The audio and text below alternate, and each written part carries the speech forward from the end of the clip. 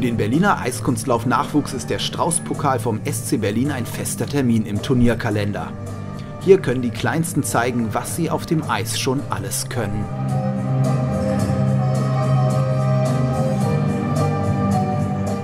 Und das ist nicht gerade wenig, wie SCB-Trainer Jürgen Bertko weiß.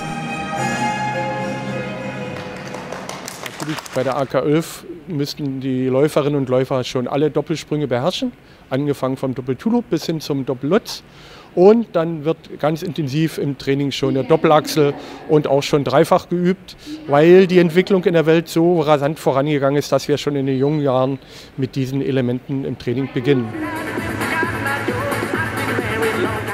Und die Weltspitze ist für die Eiskunstläufer vom SCW bekanntlich der Maßstab. Der Verein hat Stars wie Peter Liebers, Annika Hocke oder Paul Fenz hervorgebracht. Tolle Vorbilder für die ganz Kleinen.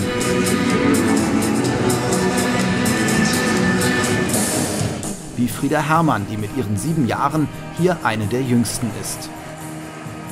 Aber bereits ganz genau weiß, worauf es ankommt.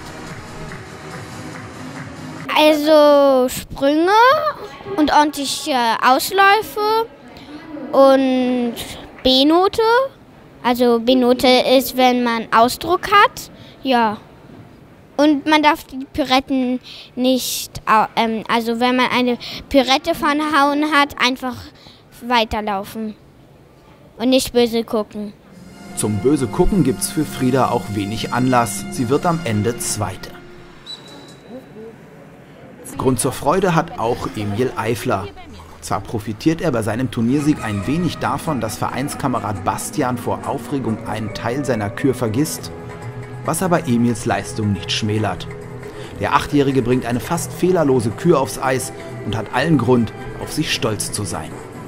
Ich bin stolz, dass ich die Achsel gestanden habe. Dann bin ich noch stolz, dass, dass Frau Heise gesagt hat, die Pyretten waren toll, weil ich weil ich mag Pyretten nicht so doll.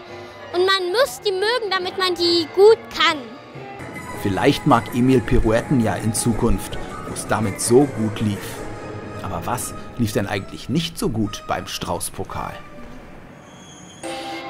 Ja, eigentlich ist nichts schlecht gelaufen. Ein passendes Fazit für diesen 29. Strauß-Pokal 2018, bei dem es einfach läuft.